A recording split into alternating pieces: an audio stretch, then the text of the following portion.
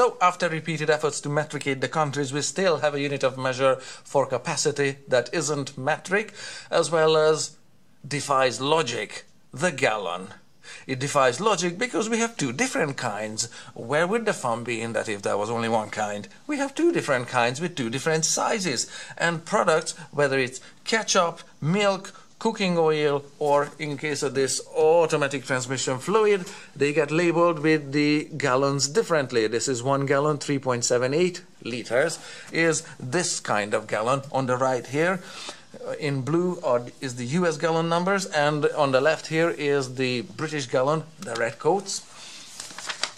Bigger, four and a half liters, as shown on this. I just printed it off from some milk labels in the in the UK.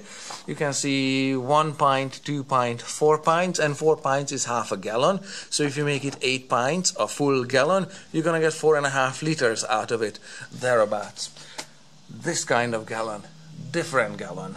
And of course, it affects your uh, fuel economy figures because how many miles can your car do per gallon of gasoline? It depends how big that gallon is. If you have 231 cubic inches in it, 231 of these, this is a cubic inch, one inch wide by one inch tall by one inch deep shape.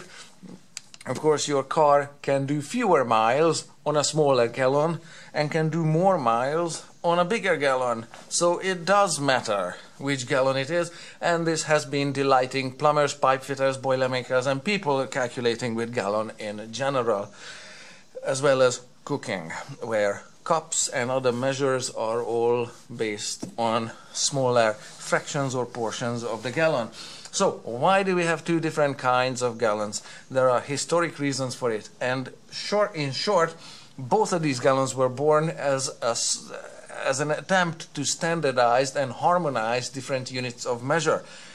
So back in 1707, there was only one there were there was only one kind of standardized gallon, the gallon, and it's this kind.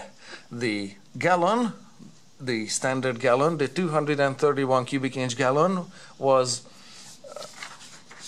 ordered or legalized by Queen Anne to be used and was an attempt to get rid of the different kinds of gallons in the uh, in the day for different kinds of agricultural produce and commodity.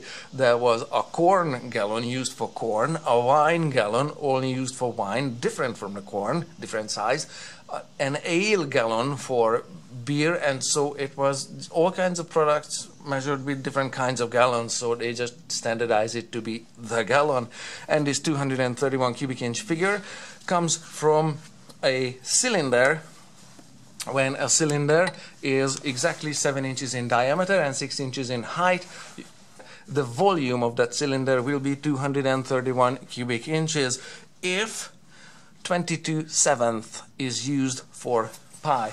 Now pi on a modern calculator of course with the 10 digits is 3.141592654 but if you use 22 seventh for pi is 3.1428 so only the first two decimal digits match.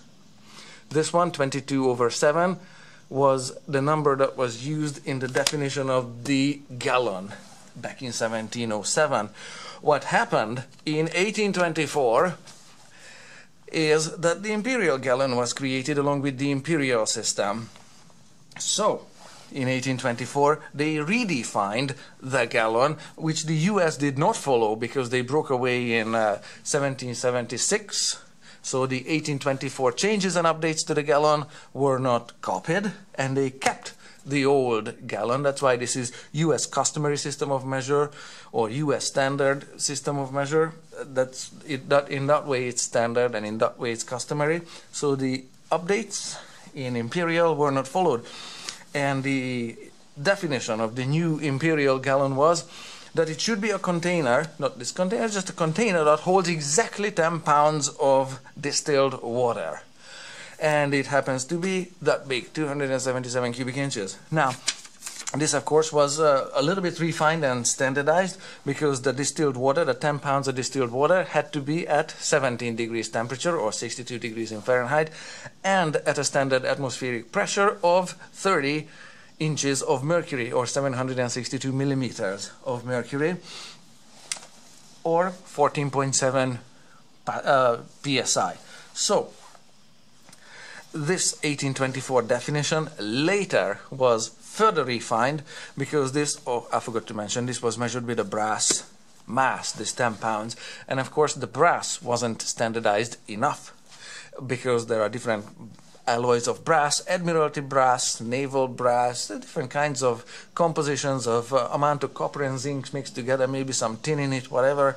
So the brass had to be standardized as well as the uh, they refined the figures for the uh, density of water as well as the pressure at which the measurement was taking place. So anyhow, this is still the space, the volume 10 pounds of water takes up. And this is still the space, again, that a cylinder has when it's 7 inches in diameter. So if you take the radius 3.5, you square it, you multiply it by, instead of pi, 22 seventh, and you multiply it by 6, you will get 231 cubic inches. So as a result of the US gallon or the 1707 gallon being smaller than the 1824 imperial gallon, this one holds fewer cubic inches and less amount of water. That's pretty much the end of the story. If you're a plumber or you still have to calculate with this, uh, my condolences. Now, eventually, countries will go along with metrication, and here is a food label for milk. Uh, from uh, from Canada, you can see English and French uh, numbers or what uh, writing on it, as well as this is four liters. So eventually, uh, producers and marketers of milk will stop labeling it with idiotic decimals, and we'll just call it four liters, two liters, one liters, whatever. The same kind of nonsense will eventually end. It's not going to be one gallon it's going to be some metric number that everybody understands worldwide. So that's why we have two different kind of gallons. And uh, like I said, if you have to work with them, good luck.